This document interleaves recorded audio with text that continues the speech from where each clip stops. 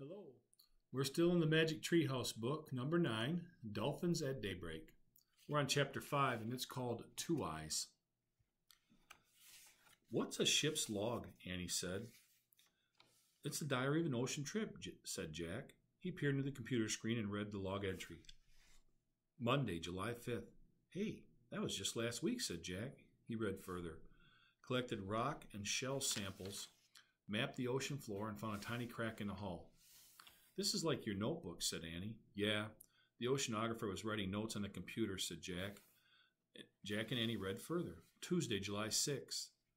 Crack has widened. Must return to the reef soon. A crack where? I don't know, said Jack. He read further.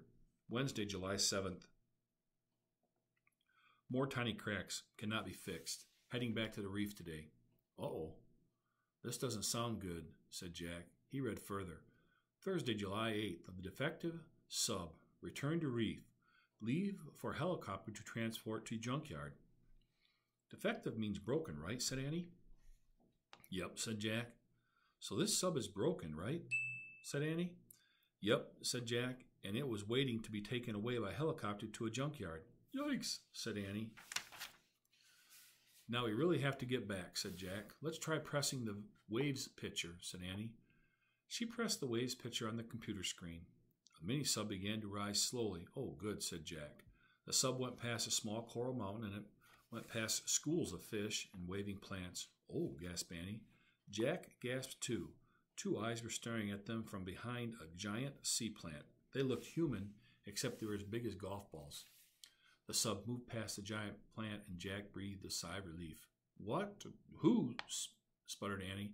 Don't ask, said Jack. They started back at stared back at the plant. Just then a long arm came out from behind it, then another arm came out, and another, and another, and another, and another, and another, and another. Jack and Annie stared in horror at a giant octopus. It's coming after us, said Annie.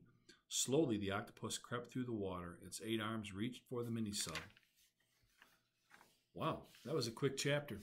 That's the end of that one there. Hey, I hope you're having a great day. Remember, we miss you here and can't wait to see you. Please keep on reading, it's good for you. We'll talk to you soon. Bye.